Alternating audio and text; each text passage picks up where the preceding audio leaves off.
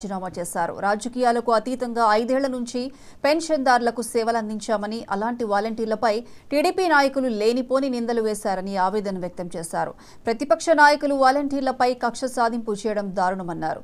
మళ్ళీ జగన్ను గెలిపించేందుకు ప్రభుత్వం చేసిన సేవలను ప్రజలకు తెలియజేస్తూ స్వచ్ఛందంగా ప్రజల్లోకి వెళ్తామని వారి రాజీనామా పత్రాలను పంచాయతీ కార్యదర్శికి అందజేశారు.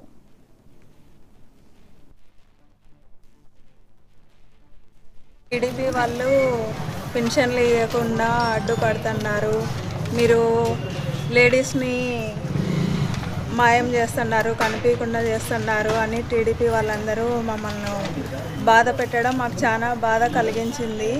వాళ్ళు ఎన్ని మాటలన్నా కూడా మేమేం బాధపడలేదు. కానీ ఈ పెన్షన్ పంచే దాంట్లో కూడా మా మీద ఇంత కక్షపూరితంగా ఉంటారని ఆ విషయంకి మేము చాలా బాధపడినాము. మేము కూడా వాలంటీర్లలో మేము కూడా లేడీస్ ఉన్నాము మేము లేడీస్గా ఉండి ఇంకొక లేడీస్ని మేము ఎందుకు మాయం చేస్తామనేది మాకు చాలా బాధ కలిగించింది.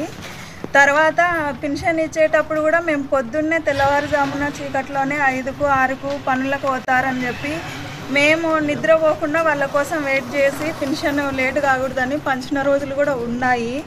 కరోనా టైంలో కూడా మేము అస్సలు బయటికి ఎవరే కానీ రాకపోతే మేమే అంగళ్ళకు పోయి వాళ్ళకు తెచ్చిచ్చిన రోజులు కూడా ఉన్నాయి. అవన్నీ జనాలకు గుర్తు ఉన్నాయి ప్రజలకు. కానీ వాళ్ళు ప్రతిసారి మేము జగన్ నుంచి వచ్చినామని చెప్పి మా మీద ఇంత కక్ష కట్టుకొని చేస్తున్నారు ప్రతిపక్షం వాళ్ళు.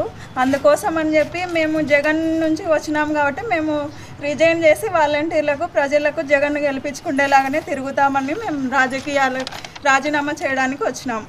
లోనే మాకు ఉద్యోగం దొరికింది. చిన్న జీతమైనా కూడా అనే ఉద్దేశంతో మేము సంతోషంగా చేస్తున్నాము ఆ జాబు.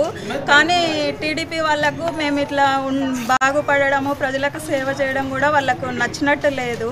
దానికోసం అని చెప్పి మేము ప్రజలకు చెప్పుకొని మేము జగన్కు సపోర్ట్గా వాళ్ళను చేయాలని చెప్పి మేము రాజీనామా చేస్తున్నాం సార్. వాలంటీర్గా పనిచేస్తున్నాను. మేము ప్రజలకు గత ఐదేళ్ళుగా చాలా సేవలు చేశాము.